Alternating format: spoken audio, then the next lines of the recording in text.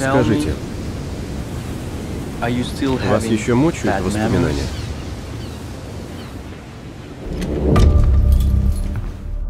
Воспоминания? Нет, не мучают.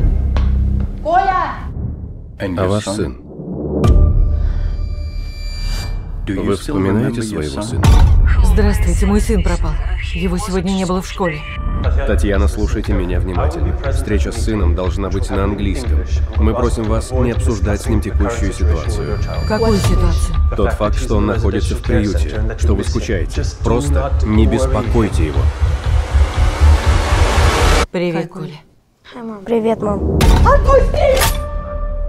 Вы бьете своего сына? Конечно, нет.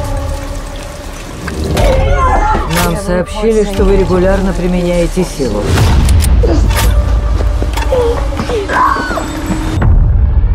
Он сам нам сказал.